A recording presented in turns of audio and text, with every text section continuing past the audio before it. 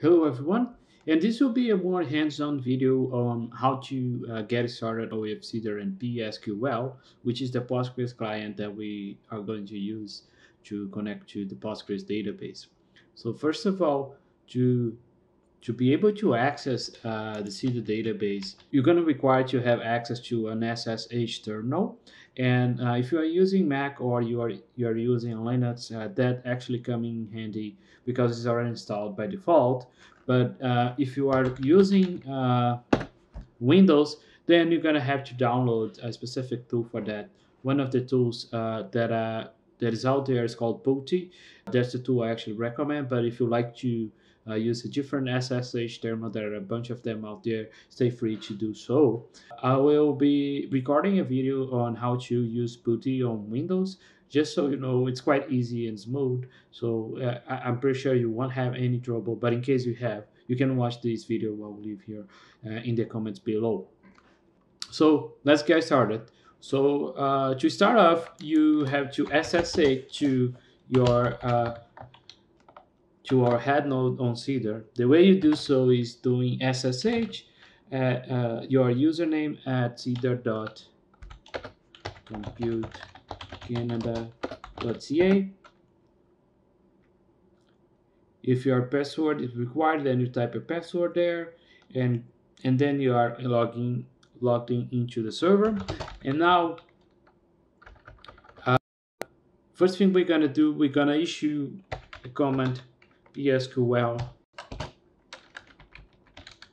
dash dash version which tells us that the version that our Postgres client that comes as a default is the version 9.6.6. Uh, However, we, would like to use the last version of uh, the Postgres client. So for doing so, it's required you execute the uh, module road Postgres SQL command that will then when you issue the version uh, you may uh, you're gonna see that now our Postgres clients is running on the version 12.1 now to avoid having to uh, every time we log in to load modules because modules is a command that is uh, session only uh, persistence uh, so as soon as you logged out that command will not persist and uh, if you log in again that means you have to issue the command again. So in order to avoid uh, such steps we can uh, basically include this module load PostgreSQL on our bash rc, RC uh, file. So the way we do so is by using VM you can uh, open our bash rc file. And then you can append this command by the end of, of, of bash rc uh, file. Uh, your file may just be entirely blank. I just happen to have a different uh, set of commands on my file. I advise you to append that in the very end, but it's totally up to you, whatever you like to add this command here. Once you've added that, press uh, escape, then uh, then exit. Once you've exit, you just to do a test now. Uh, I'll exit the Cedar console and then I'll log in again and now I'll issue the PSQL version and you uh, you notice that now it's uh, by default using the last version. So that's the first thing. Now there are several ways you could instruct our client in uh, where is the host we would like to connect? But uh, the way we're going to recommend here is to use environmental variables and uh, the client allows us to, to do so by using these two environmental variables where you have PG host, which basically allows you to set up which host you'd like to connect. And you have, in addition to that, the PG database that tells the uh, PSQL client which database is the target database we are connecting to. So to set that up and to make sure our uh, PSQL is working, we can uh, export this variable which carries the host name for our database server. And then I can use this command here. And as opposed to user here I have to set set my username which is the uh, my default uh, database uh, on Cedar. And I have all set up when I use psql now, I've already get by default logged in on my table. But again, this is a session only command because the export has to be re-executed every time I log in. And to avoid doing so, what I can also do is to export these variables on my bash ARC. So I'll do so here just so we, we have this recorded next time we log in and make sure we we don't have to do that every we enter into Cedar. So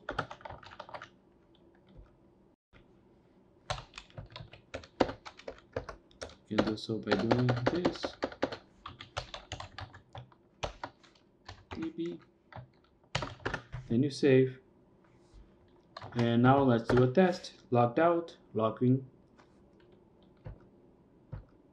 New issue psql it's here. So to do a test whether my database is working or not I could create a table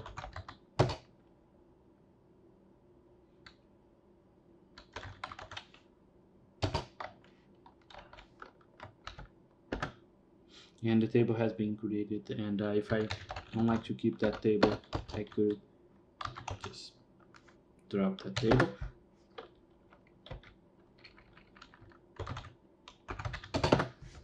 And there we go. We have our database running and working and we are connected into our database.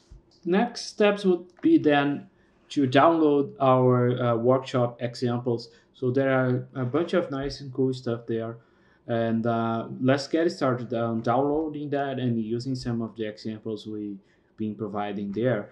So in order to download the repository, then uh, what one have to do is to uh, the easiest way is to use git clone. So it basically requires you to do git clone on the repository path. Uh, that we then download the repository. Repository is a public repository, so uh, everyone should be able to access into the repository. But if someone has uh, any issue, please uh, let us know and uh, we can uh, uh, look after that. So once the repository is downloaded, you you will notice that your home directory has now a new folder called db underscore workshop. Our project, um, our examples name.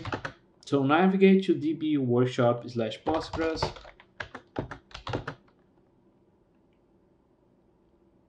And then let's visualize some of uh, the prepared set of SQL commands we, we have here in order to, uh, to create a table. So you can use either more or less, both commands would work, but yeah. So this is our set of commands to create a table on our database. And uh, the way you can inject that and you can tell uh, pSQL you, you like to execute that on pSQL we only note we have these input uh, redirectors operators that allow us to feed our programs and the way you can do so is by typing psql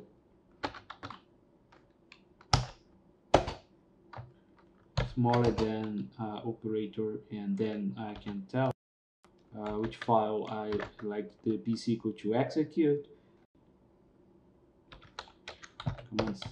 the way psql will execute uh, the commands are internally uh, done on that file. So basically what this file is doing here, so we first uh, say drop table because if the table uh, we are targeting Canada underscore city is already created, we then drop that table because we like to create a new one. And then we create the table itself. And after that, we, uh, we have the command copy which is issued for us allow us to feed in the table with uh, some of the data we have under the file canada slash city.txt. So to see what we have on this file, let's take a look on that. Can type plus canada canada-city.txt and we'll see that this file is a basic CSV file which basically contains information about Canada cities and uh, its GPS location. So to compare and to take a look whether this file has been loaded on our uh, table, let's uh, connect to our database. And the way we can get to the console is, uh, again, same way we've done before, pSQL. And then on our pSQL, you can type uh, select star and from. And the nice thing feature here is if you tap if you tap tab on your uh, right side, you see that the table is already listed here. So if I say Canada City and uh, press tab, it will autocomplete that to me automatically. And if I put a semicolon here now, I'll be able to list the table I've just inserted on Cedar. And that's uh, that shows me the table has been loaded successfully and the GPS coordinate has been uh, loaded as well.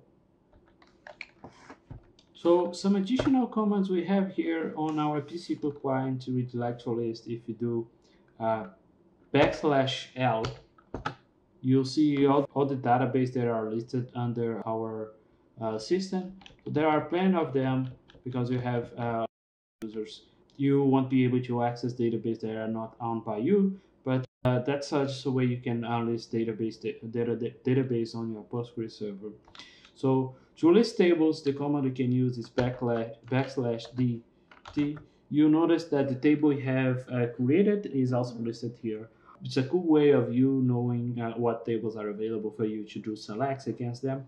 If you like to see the fields on a table, we can issue the command slash backslash t plus the name of the table, which in this case is Canada City. And again, uh, here you can press tab and it will uh, autocomplete automatically matching with the table it has available for you. And uh, and then if you type enter, you'll be able to see the table. Sometimes the visualization doesn't get nice, but if you open up the window, you'll see, be able to see the table completely. And those are the tables and uh, the columns we have available for, for that table. Say, for instance, you'd like to know uh, how many uh, rows you have on that table. Uh, one can issue a command which is select count. Count is a function that basically will count all the records that has been retrieved uh, from for a query and then you say from Canada City and then we'll see.